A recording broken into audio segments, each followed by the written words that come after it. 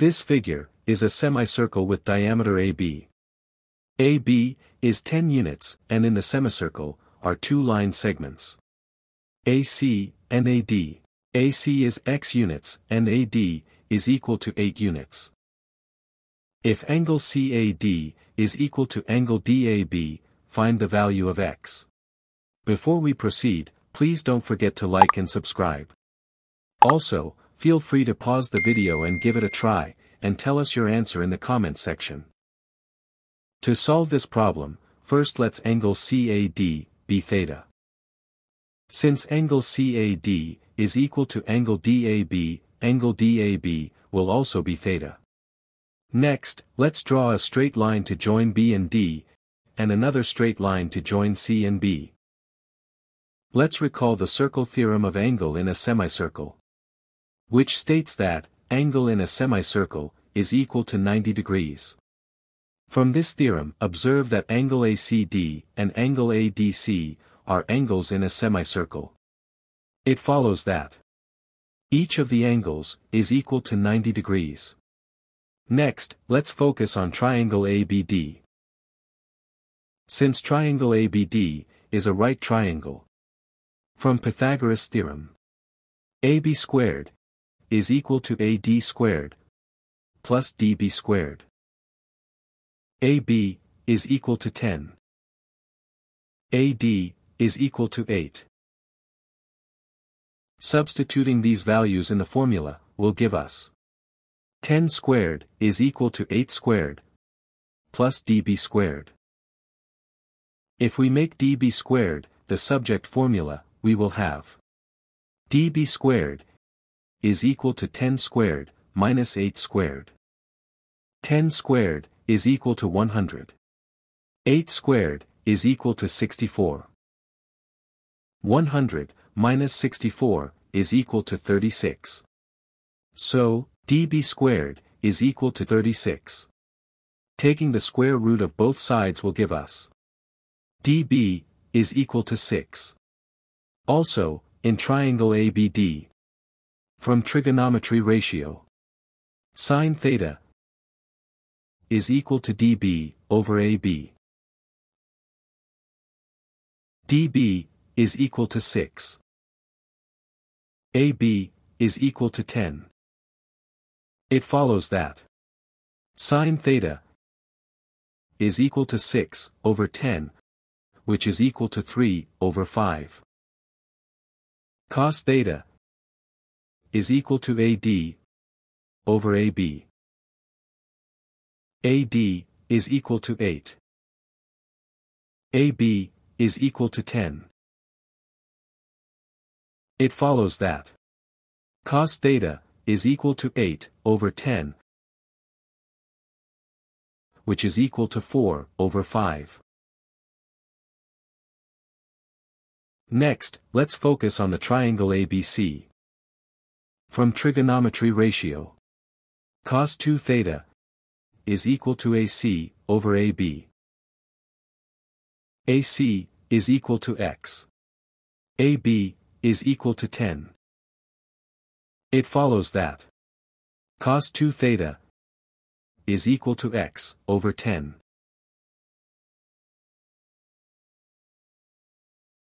By cross multiplication, x is equal to 10 times cos 2 theta.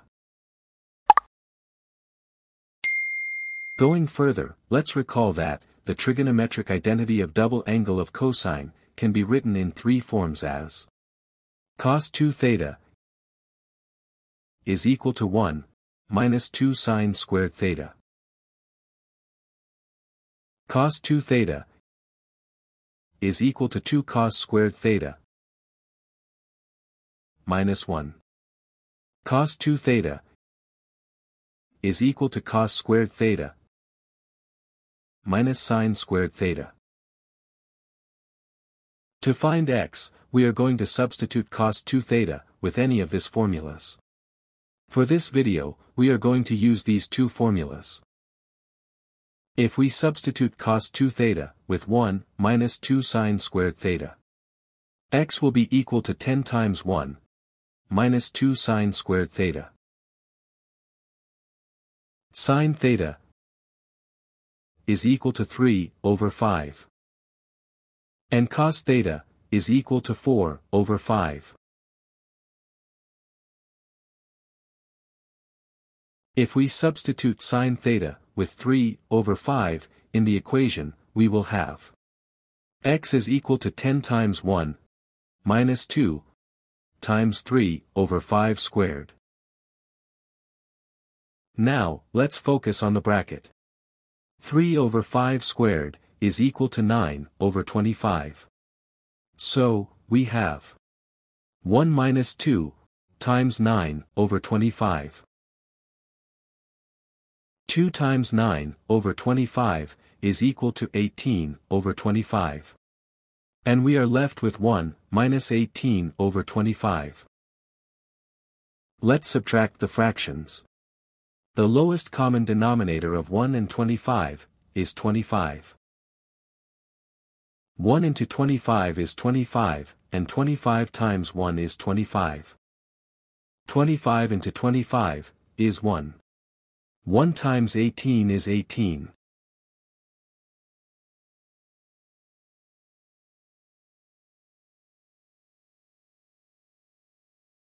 On the numerator, 25, minus 18 is 7. And we are left with 7, over 25.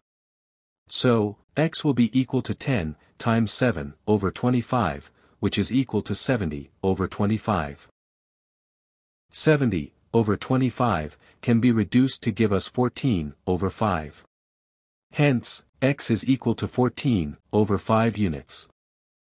If we substitute cos 2 theta, with cos squared theta, minus sine squared theta.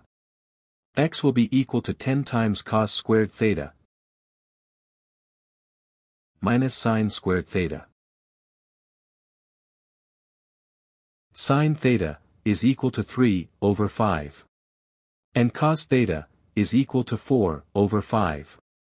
Substituting these values in the equation will give us x is equal to 10 times 4 over 5 squared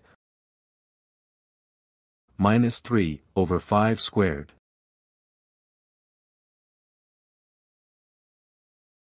Let's focus on the bracket. 4 over 5 squared is equal to 16 over 25. And 3 over 5 squared is 9 over 25. 16 over 25 minus 9 over 25, is equal to 7 over 25. So, x, is equal to 10, times 7 over 25, which is equal to 70 over 25. Which can be reduced to 14 over 5. Hence, x, is equal to 14 over 5 units. Thanks for watching. If you liked this video, make sure to subscribe for more.